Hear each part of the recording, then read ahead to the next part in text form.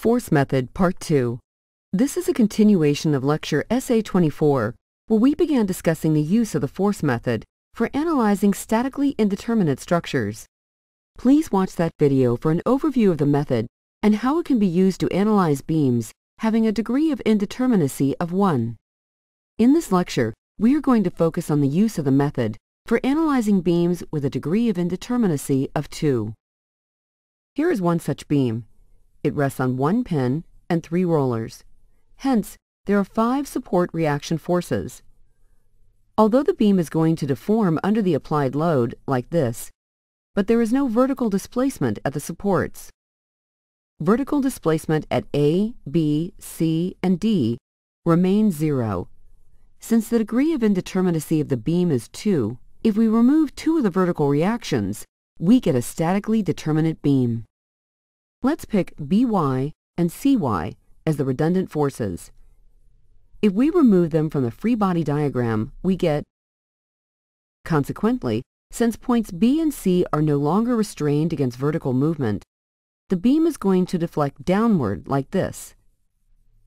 Let's refer to the vertical displacement at B as delta B, and call the displacement at C delta C. Okay, now visualize a pair of upward forces, one placed at B and the other placed at C, that collectively push the displaced beam up such that the vertical displacement at B and C reverts back to zero, like this.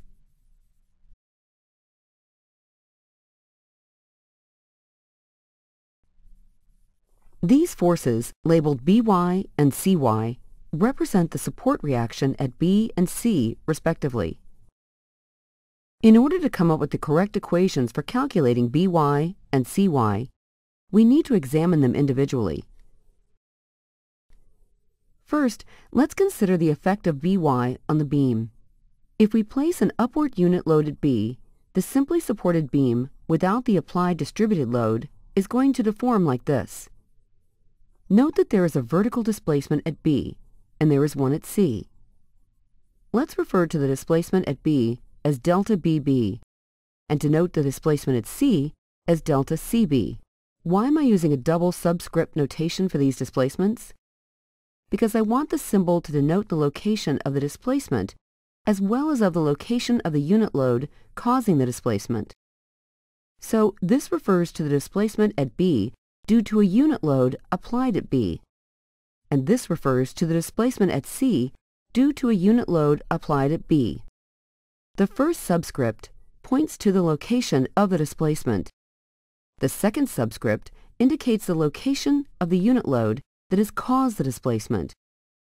Now, if we replace the unit load with By, these displacements can be written as By delta Bb and By delta Cb. Next, we want to consider the effect of Cy on the beam. If we place an upward unit load at C, the beam is going to deform like this. We refer to this displacement as delta BC, and we call this one delta CC.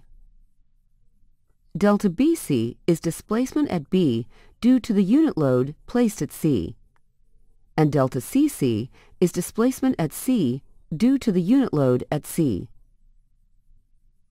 Now if we replace the unit load with Cy, the displacements can be written as Cy delta BC and Cy delta CC. Let's summarize what we have so far. The simply supported beam subjected to the uniformly distributed load has downward displacements, delta B at B, and delta C at C.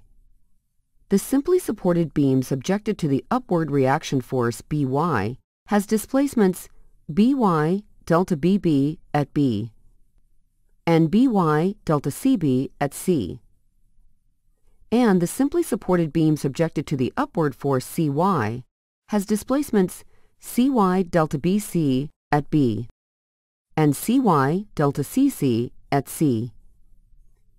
We also know that the sum of these three diagrams gives us this diagram, meaning delta B equals By delta Bb plus Cy delta Bc.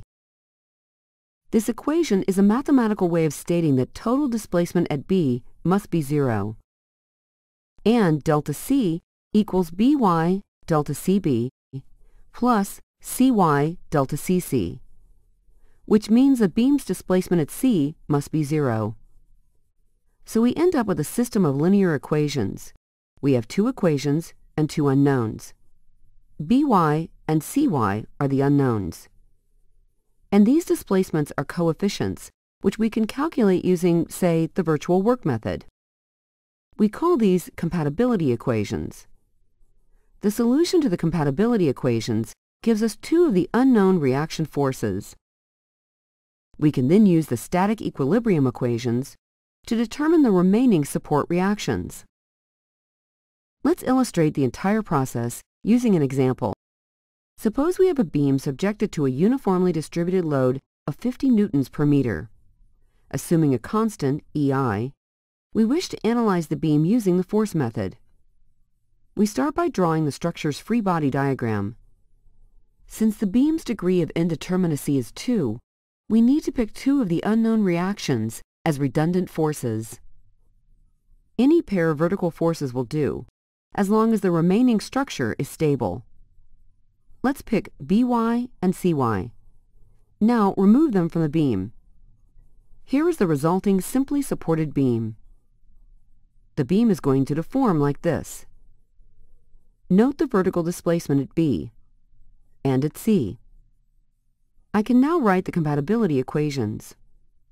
This equation states that, at point B, the upward displacement due to the redundant forces must be equal to the downward displacement due to the applied load. This equation makes the same statement, but about point C. Upward displacement due to the redundant forces must be equal to the downward displacement due to the applied load. There are six displacements here.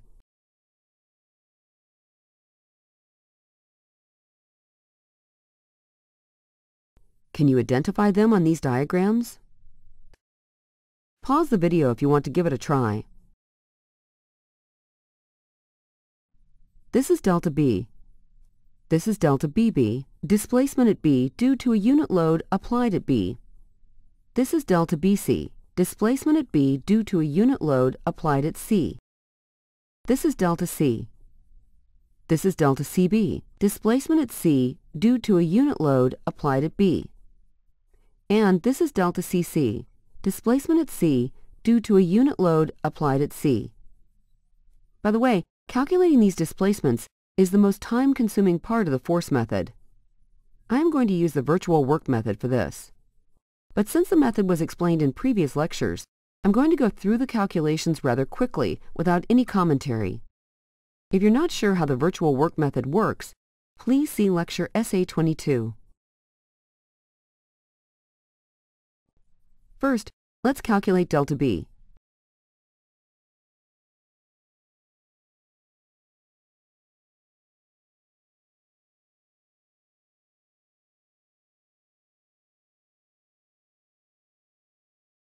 So delta B equals, now let's compute delta C.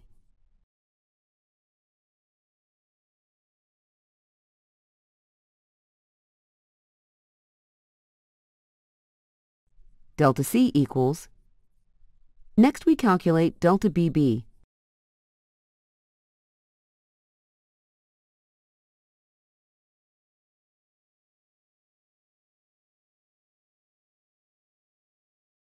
And here is delta BC.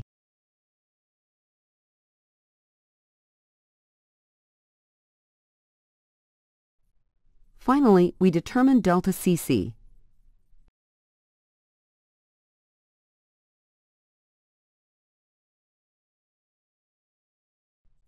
And delta CB.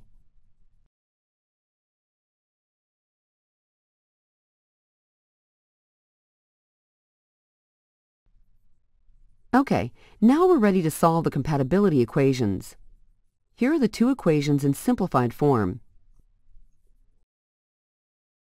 Solving them simultaneously, we get by equals and cy equals. Now we are ready to calculate the remaining support reactions using the static equilibrium equations.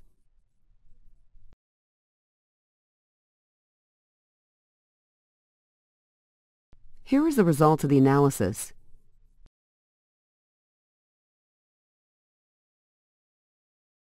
We will continue our discussion on this topic in the next lecture. Here are a few exercise problems involving statically indeterminate beams and frames, all having a degree of indeterminacy of 2.